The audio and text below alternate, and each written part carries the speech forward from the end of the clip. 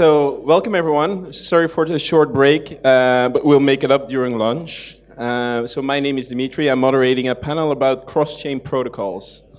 And with me, we have Phil Lucsok from uh, Parity. We have Zaki Manian from Trusted IoT Alliance and Cosmos. And we have Jack Platts from the Web3 Foundation. I'll give you guys uh, one or two lines of intro, uh, and then we move from there. Thank you. Uh, my name's Phil. I work at Parity Technologies. I focus on uh, product product communications. Um, and yeah, I've been in the blockchain space since 2013. Been very interested in uh, Bitcoin and Ethereum, and especially cross-chain interoperability, which seems like the next logical step. My name's Zaki. Uh, I'm wearing my Cosmos hat today, and uh, I've been also in the blockchain scene since 2014 and am very excited about sort of starting to deliver scalability protocols and the sort of Cosmos vision of scalable blockchains. Hi, I'm Jack. Um, I work at the Web3 Foundation, and I work on Polkadot stuff, so partnerships and community, and um, I'm excited about these different ecosystems that are being built, um, including Cosmos, including Polkadot, including some of the other ones, and um, kind of the, the communities that are being built, the private businesses that are being built on top of these extensible protocols, and interoperability plays a huge role in enabling that sort of thing. Um, and I think brings a whole new wave of people into this ecosystem. So those are the things that excite me about it. All right. Um, I want to start with a little poll. Um, who is building cross-chain protocols? All right. Who wants blockchain protocols? Who wants them? Who needs blockchain protocols? Everyone. Well, I think that we have to have more builders. Huh? so, I, well, first of all, what are these blockchain protocols? And maybe these cross-chain pr protocols, what are they from your point of view, um, such that the audience knows what we're talking about?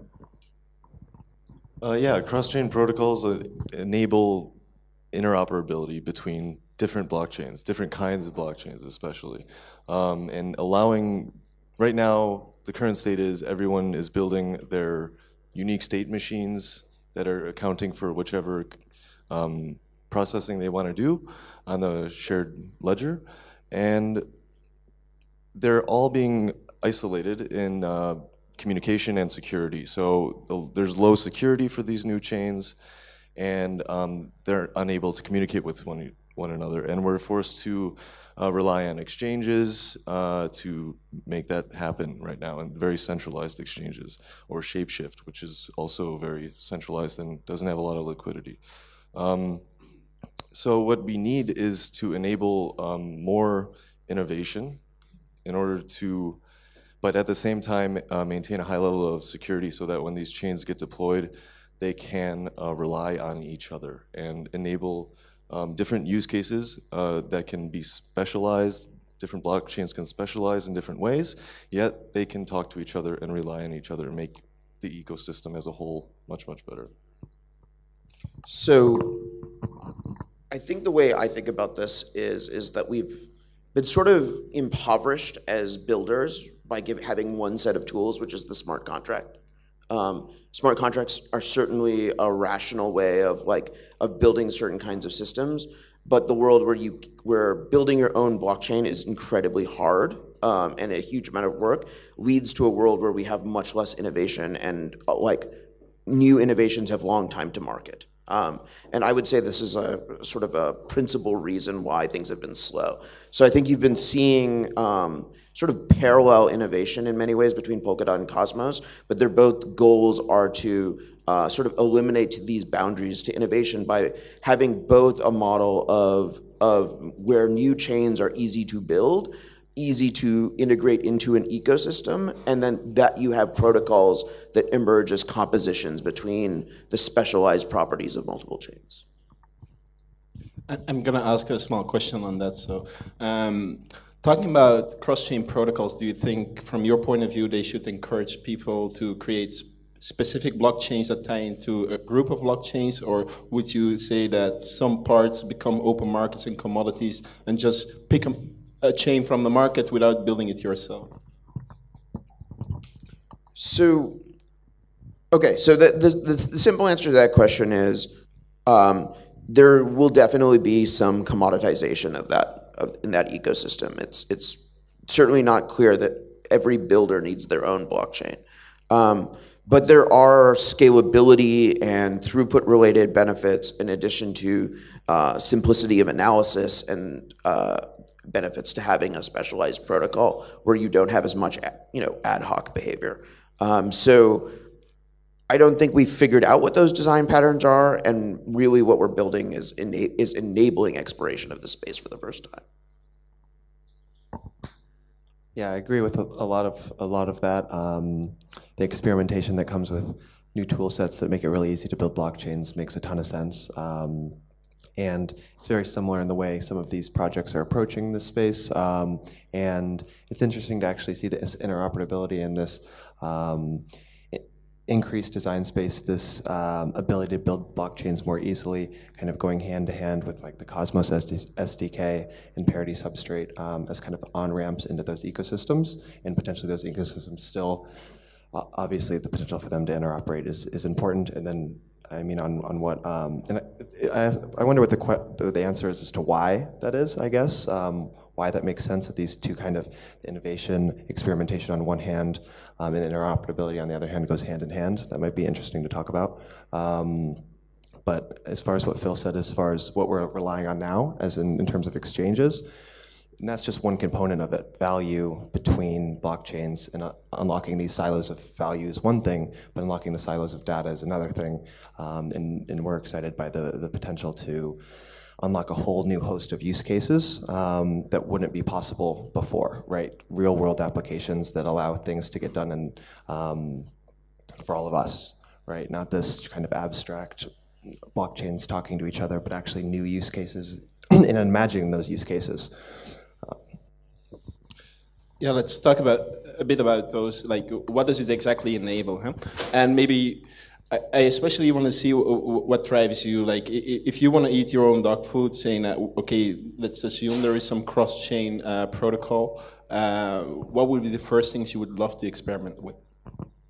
Uh, definitely, I'm personally very interested in the governance aspects. So what we've seen with Bitcoin, when Bitcoin first came out, nobody was talking about governance or how to upgrade this. Um, yeah, everyone assumed it would be upgraded and it would be able to handle all the potential we see in blockchains now.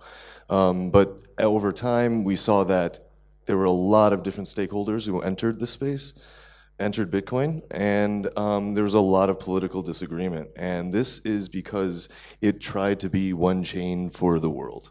And when you try and put everything under this single jurisdiction, it creates a lot of tension and a lot of stagnation.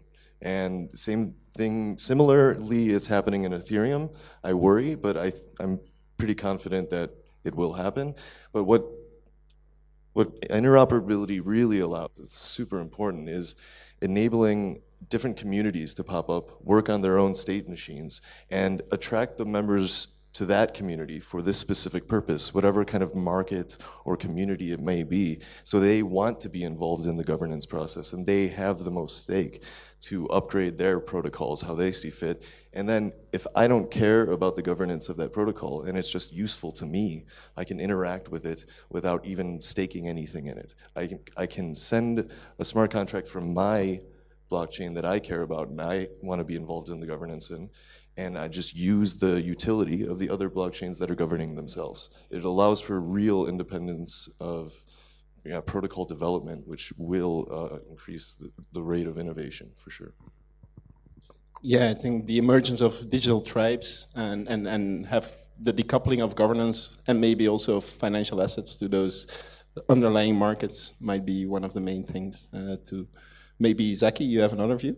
Yeah, so just to extend that theme, yeah, I, we we strongly agree with the with the idea that like uh, the biggest part of the value addition is instead of trying to focus an entire global community into a single governance process and try to like sort of find the common ground and the common path forward between hundreds of disparate you know interests um, allow people of naturally convergent interests to form systems and communities But the other piece is, is you do not want to become economically unlinked. We don't want to build a set of economic islands, which is largely what we've been building in the blockchain space so far, which is like when some new chain comes up, up there's a maximalist vision ar- around it that will is involves it sort of stealing all use cases and all ac- sort of examples uh, or applications in these sort of economic ecosystems from in a sort of zero sum game.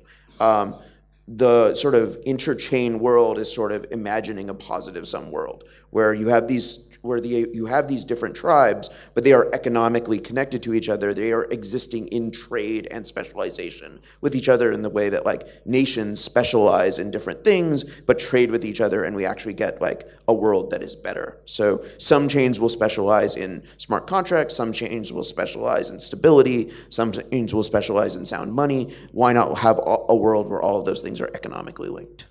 So no winner takes all. We are not maximalists well, the open market, the free market is not, but as we have seen, like we have the Amazons, Facebooks, and Googles. Uh, so how are we different? Well, so I mean, I think the the sort of somewhat unique thing about all of this stuff is that each chain in Cosmos only exists to the extent that it's a useful social Schelling point, um, and Schelling points can be forked, um, and that will hopefully lead to a world where we don't create monopolies again. Hooray!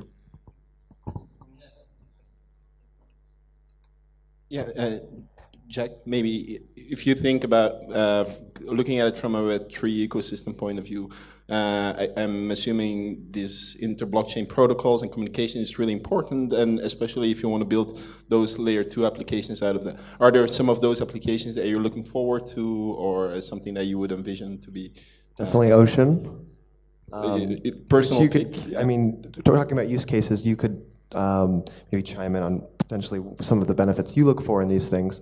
Um, but as far as like a layer one goes, um, there's a couple properties that we think are important. One's like open governance system for sure, um, but the other is what we've been talking about, which is this notion of extensibility, like a modularity, like a stack, wherein um, different protocols can plug into it for different capabilities and leverage them. Um, and it's it's built in a way so that it's very easy to do that from the APIs, everything, just building it up so it's um, it's like laying bricks, right? Um, so that's that's something that um, um, from like the Web3 tech stack point of view that we, we, we think is really important. Yeah, and that makes sense. Uh, you have the layers of abstraction such that people don't have to care which substrate they're working on. Um, now, maybe to go more into the nitty gritty of things, uh, I'd love to know what you guys are exactly doing with these inter-blockchain communication protocols. Um, maybe you can think about an important technical aspect that you're trying to implement or you have implemented and why that was important?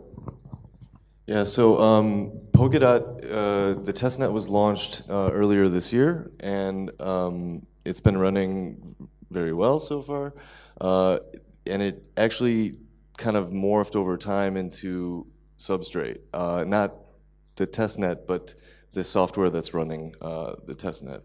And uh, what, what happened in July was the first time of when we went from the proof of concept one, which launched the testnet, had a lot of features, going to POC two, which had some extra uh, features, including like light client support, parachain support, uh, coming together, co-finalization, you know, final, finalizing all the different link chains at the same time. Um, in uh, July it was the first uh, runtime upgrade uh, governance-based on-chain runtime upgrade, which means there's a forkless upgrade of the system. And the entire network, um, if those who participated, yes, it's a test net, no value bearing there, but it did happen, and that's kind of like the main, one of the main benefits of being able to, to kind of have a WebAssembly VM is you can have the, the client that you're running at home just recognize that there's a new version and start interpreting it. Uh, no, no action needed from the user, only the governance action of voting for or against it. Um, so that's really cool. Um, basically, we're working very close on implementing our new uh, consensus algorithm into the POC3, which will be out in a few days, maybe a few weeks. Um, and then after that, we'll have the real, um, early next year, we'll have interchain communication. It's very exciting to hear. Uh, Cosmos has been developing also for a few years now. Um, so maybe Zaki from your uh, tech. Yeah, so we've had um, so so our consensus engine Tendermint, which is sort of uniquely suitable because of its sort of cheap like client proofs and fast finality engine for like a multi-chain architecture, has been essentially feature complete for about a year and uh, we've been in these like large scale public test nets where we've been running our consensus engine among hundreds of strangers with extraordinary stability for a long time. Um, this last cycle has been consumed with essentially finishing our MVP proof of stake implementation that has staking, slashing, delegation, and fee distribution, all of which was extraordinarily hard, like harder than we anticipated, um, but is essentially done. The feature complete proof of stake releases today. Um, and so with proof of stake done, we intend to launch sort of the MVP hub mainnet uh, towards the end of the year. We're sort of in an auditing cycle. Um, and then after the hub is launched, it will be start to upgrade. Um, it will be upgraded with features like uh, the sort of initial token-centric uh, inter-blockchain communication spec, and then we will go on from there.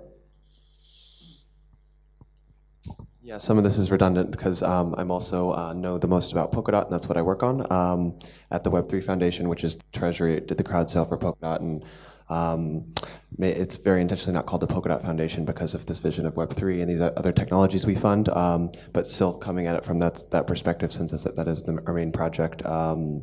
And we're contracting Parity Technologies to build the first client implementation in Rust, um, and then additional implementations in other languages that we're giving grants for um, in Go and and, th- and um, maybe another language. So um, a little bit redundant, but yeah. Um, POC 4, um, as Phil mentioned, is going to be probably the most exciting POC for um, Polkadot because it's going to be kind of the most developer friendly. Get your hands dirty, um, build your own blockchain, start to uh, take advantage of the testnet in terms of this notion of interoperability and starting to play with the different use cases there. Um, so early next year for that. But otherwise, we have a live test net that you can like go on your browser on your phone from day one uh, use.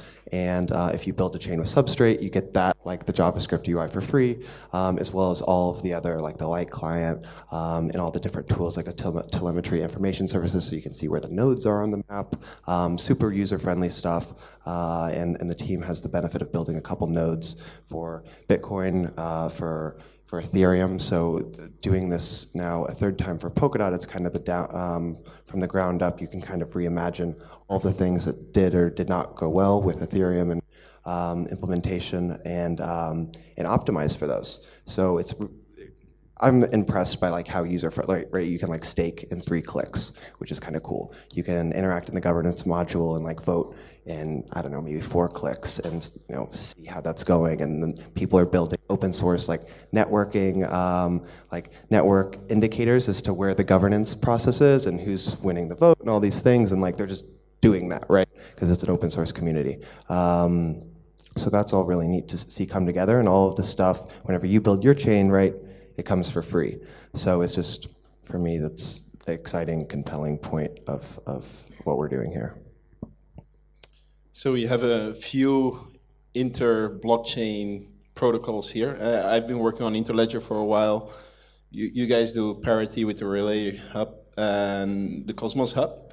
Um, what I'm then thinking is uh, how those these things interoperate with each other. Huh? Uh, is there interoperability between their interoperabilities? Um, and then maybe a question: How would you see each other as integrating? Uh, like, would the Cosmos Hub become a parachain to the relay, uh, or the other way around? Or well, I, I can answer the interledger question because we have a project called Kava um, that is building a Cosmos zone and should have a test net up in running in like the next month or two, which is explicitly an uh, an interledger focused zone. So it's the the point of it is to sort of offer essentially like a digital retail front end uh, to the to Cosmos, allowing you to use Interledger to you know buy and use assets on Cosmos. Um, it's probably like it's it's one of the mechanisms by which Cosmos then can become economically linked um, to the sort of wider blockchain ecosystem without just relying on centralized exchanges. But uh, it's just the first stage, and you know we have peg zones also in in process. Yeah, I'm I'm sure uh, there if there's there will be a need. I mean, we're kind of like focus. It's still the very early stage, so we're focusing on uh, what what Polkadot should be uh, focusing on, which is uh, really uh, arbitrary message passing across chains and parachains, shared security, um, the kind of things we're we're focusing on. But we also want to, of course, link to um, like Bitcoin and Ethereum using a bridge. Um, where they don't get the benefits of shared security, but they do have um, definite cross-chain communication. And I see no reason why having uh, more bridges to more platforms is would would ever hurt. Would that mean that the definition of a bridge is this Uber standard? The definition of a bridge. Uh, well, let's say if if we want to connect uh, chain A to chain B, whatever they are, whatever uh, substrate they run on. Um, there's a few things you have to bear in mind. I think about atomic swaps, I think about finality, I think about a few other things, um, which you probably can express in a specification, uh, saying that if you want to interoperate with this uh, state chain versus that state chain, just make sure you have that abstraction.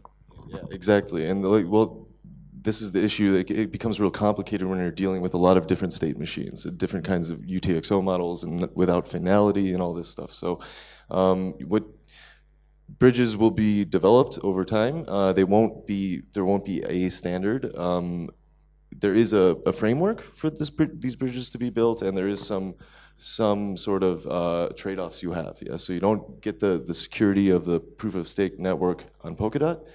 Um, but like something like Bitcoin has plenty of uh, security on its own, um, and they get to maintain their autonomy. Um, but there, uh, you don't get all this, the, the kind of finality. So it might be time delays because you need to wait for a certain amount of blocks on a chain without finality, and that's a, according to whatever the community will decide. Uh, the markets decide when they build those bridges. Yeah, just touching on the bridges, it's um, we like it is a solution for Bitcoin and Ethereum, particularly because they do have such um, high security. The values of the network are high. Um, and um, so they can be bridged, and it makes sense. You still have the delays, and it's not a native chain or a native uh, native parachain or a zone, um, but it is. Um, and it, but it, and it still does benefit from the inter, the interchain communication, but um, it, it makes it tougher because the, the attack vector is such that if the cause on one chain results in an effect on another chain, and then that bridge chain is then reverted, it's difficult without the, the, the notion of shared security to then um, make sure that the effect on the chain is, is, is also reverted at the same time. Um, and so it's not it's imperfect and doesn't really prove out the use case, I'd argue, of interoperability, but it, um, it it's a bridged interoperability. So I think what we've what we're we're very much seeing is like sort of there are two classes of chains in these interchain ecosystems. Um, one class of chain is the sort of native interoperable chains, which um, which are sort of native to the ecosystem, operate within this within like sort of rich interchain communication and security model. And then you have the reality that once you have like a Byzantine fault tolerant, fault attributable, slashable, stakeable computer, it's pretty much easy, it's doable to build an adapter to anything. Um, to any centralized ledger system, to any decentralized ledger system. Like these are extraordinarily versatile tools and um, sort of the a big part of like what we've been doing for the last years is is getting those tools to the level of maturity that people can really start, you know, doing all of the crazy stuff that they can do with them. Um, I think I have two more questions, and then we'll open it to the audience. Um, one question would be, to, like, let's look a, li a little bit about uh, risks and maybe some mitigations of those risks. Um, because as I see it right now, is that when we played around with uh, seven ledger atomic swap, uh, the delays are just absurd. The amount of staking you have to do at each hop to, to get that cascade of security, and then you have this tapered delay. Like, I came a bit worried that the user experience would die out from just that fact. Um, what do you see like as the main risks uh, for inter-blockchain communication, the main hurdles to overcome in the first uh, maybe year to adoption? So I think there's there is a there is a challenge of so I, I think the um, the experience that you had with atomic swaps is a good example of why atomic swaps have not really taken off as a, as an interoperability solution. Not only do they not really do what people want, which is take the assets that they have to the computations that they want, they're more value transfer semantics. Um, they also have a terrible liquidity user experience. It's probably why I'm a kind of a lightning skeptic. Um, but so like these interoperability pro protocols that are in the Cosmos Polkadot world, like don't suffer for any of those flaws. Um, and the latency of moving between things between chains is on the order of under 10 seconds um, in Cosmos. So that is also not as much of a, a of an of a, a, a, fundamental usability challenge. I think the biggest challenges are, are, going to be sort of uniform APIs between chains. Um, if the like interface for interacting with the token on every chain in Cosmos is radically different from each other, um, it is going to be difficult for people who are building client applications and user-facing applications to to sort of offer like a sane user experience when you move an asset on a DApp chain into a DEX. Um, and so I think there's going to be an enormous amount of pressure towards sort of uh, interface normalization um, in our ecosystem. We've started this effort with something we call the interchain standards, which are sort of uh, where we're encouraging chains in our ecosystem to maintain like consistent interfaces for like basic ideas like staking and tokens and governance.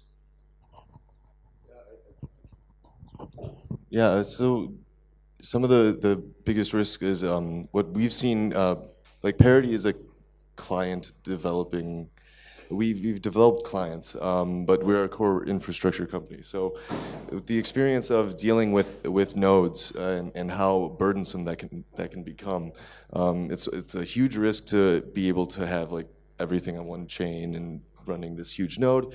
Um, so we're trying to avoid that with this time by building light client standards in from the beginning instead of slapping them on a running system, which will prove to be really, really helpful for businesses who want to use these same interfaces you're talking about. So I can use the same client on my phone as the mainframe other than I'm just verifying the headers on my phone. I get to use the same interface, doing the same things. Like if I'm scanning a package at a factory, they have their their, their system there. I have the light client on my phone, and I can use that same system and communicate directly with it. There's no need to write a new app about this. Um, and I have the permissions as an employee to automatically only scan certain pa packages or only ship them in certain ways. So all this stuff you get built in from the ground up.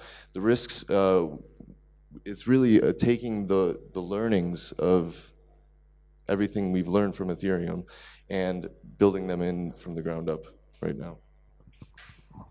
Yeah, on the on the use usability part, um, that's a super exciting like use case whenever someone just has their data or has access to a pool of data, like all the hotels that are available in this area, and they just um, kind of port themselves into that, and then they can take advantage of it without having to go to these silos like Travelocity versus Orbitz versus all of these things. That's like an exciting aside. Um, but in terms of in terms of the obstacles, um, it's just making these.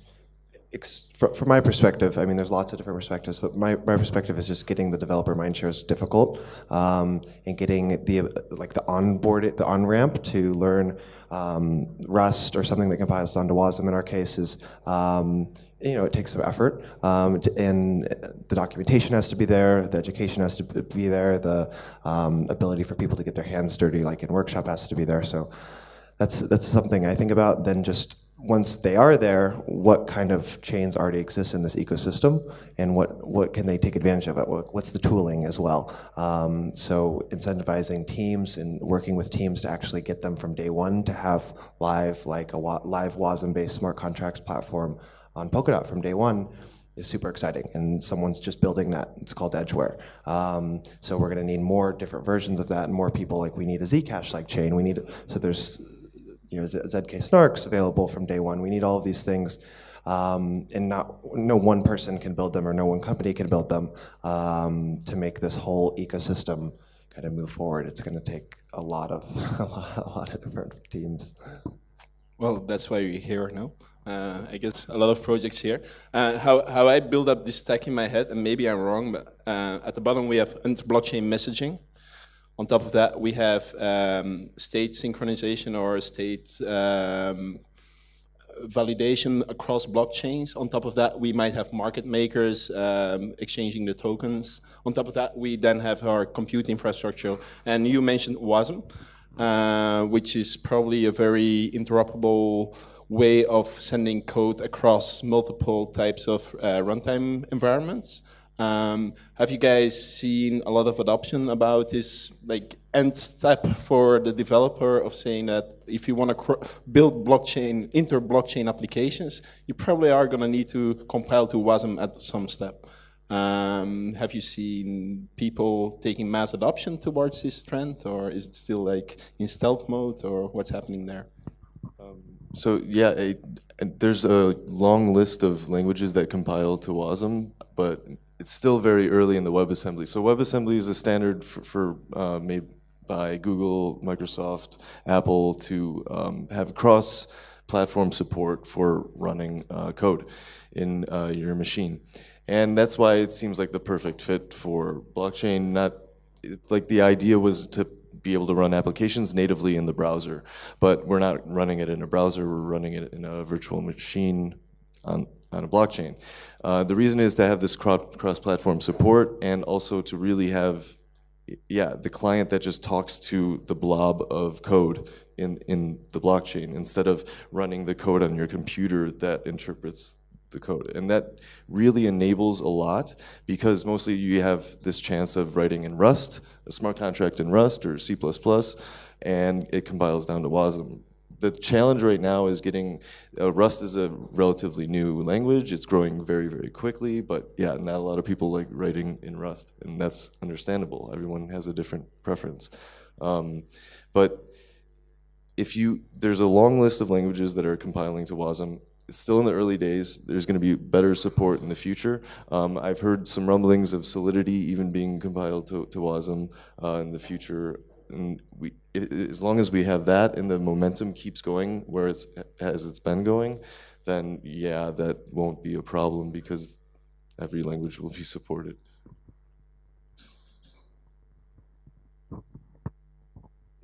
From folks just I've talked to, there's like um, the eWASM team on Ethereum. There's kind of a, a consensus amongst um, different cohorts um, of the Ethereum community that um, parts of the virtual machine need to be traded out for WASM, and that's kind of the future. Um, and um, Solidity for all of its, for how far it's gotten us as a smart contracts platform um, language is not necessarily um, going to continue to be the way forward. So um, I'm hoping that's more obvious than not to some folks, but um, it's part of getting that developer mindshare.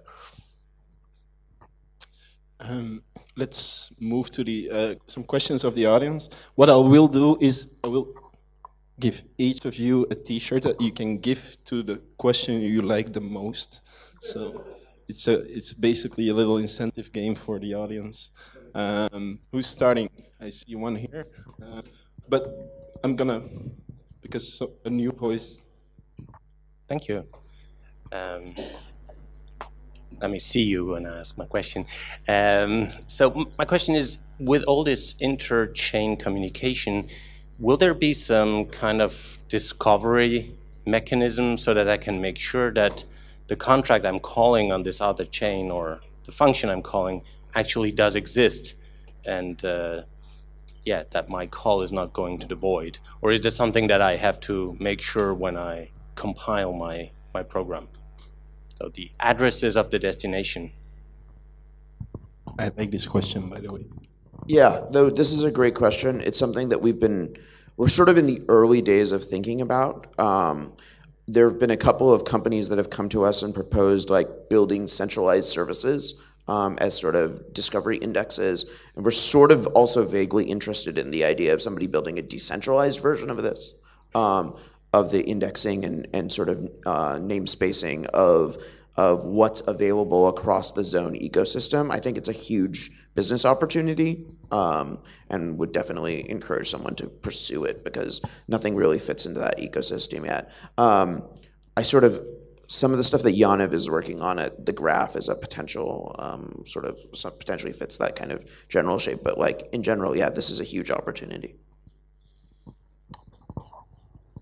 Yeah, I'll stand up as well. Um, in, so I think when we're um, talking about blockchains, there's like mainly two advantages for like applications to use the same blockchain. So first, like you have the interaction of like smart contracts using other smart contracts, and I think that's going to be mostly the messaging layer that addresses that.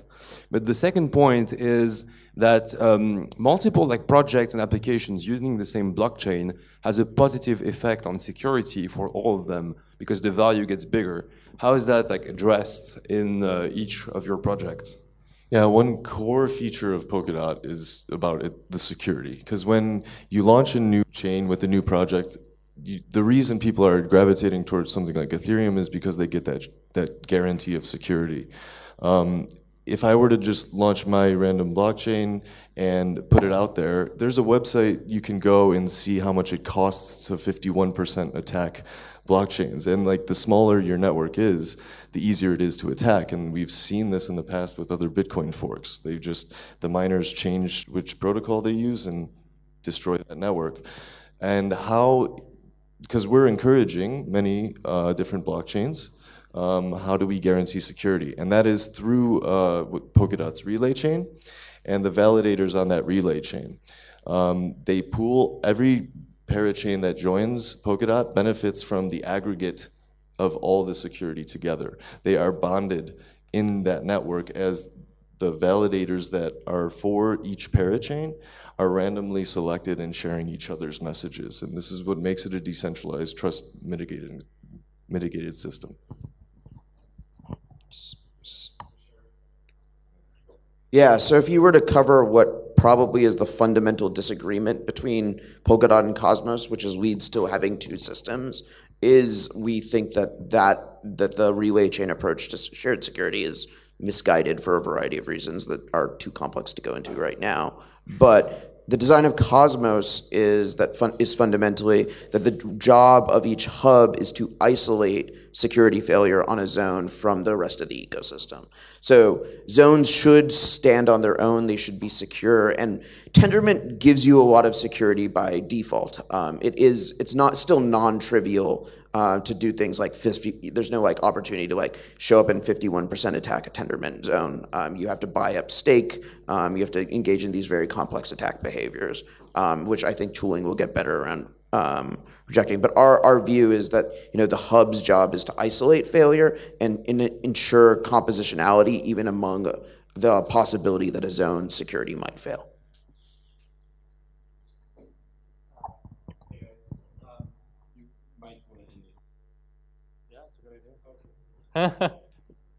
um, I was just wondering, how did you guys decide that this is the right time to be building interoperability solutions, given how few users and use cases there are on different chains? I'll take it. The first stab. So, I mean, like the honest answer is is that like the promise of open finance on Ethereum is a bit of a is deceptive. Like the design of Ethereum, it was was like obviously ill designed for this use case. Um, and like we started working on this two years ago because when we started seeing these behaviors, we are like, okay, this is great, but no one will be able to actually use this. Will actually be able to do this at scale at Ethereum. At best, this is a prototype. So we've been focused on like we started building this because this actually lets you do these kinds of like token engineering, token mechanics, interoperability, like experimentations, but at consumer scale. So when Gavin Wood wrote the, the Polkadot paper, um, the idea was extending Ethereum. That was like the whole point.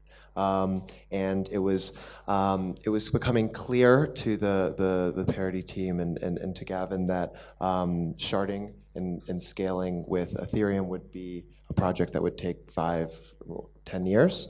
Um, and Polkadot was really supposed to be something that was uh, a sharding-like solution because of the parachains and um, the notion of them parallelizing transactions and um, uh, running them at the same time. Um, would be able to um, be delivered much more quickly and um, would have the benefits of this it's not infinite scalability, but pushing the limits of scalability much further than uh, any other design system could do at the time. So um, I think that's one of the reasons why it made sense for him and Parity to, to, to think about solutions to augment Ethereum at that point.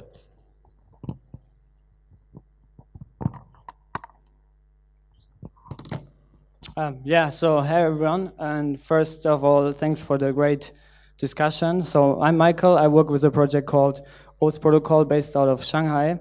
And I really like the fact that you guys were talking lots about governance, and I believe that's kind of a missing part of blockchain security, where a lot of people talking about the technology part, um, which is also important, but I believe governance is also um, maybe even more important. So how do you guys think or see that the ideal governance model should look like and what's the most important factors?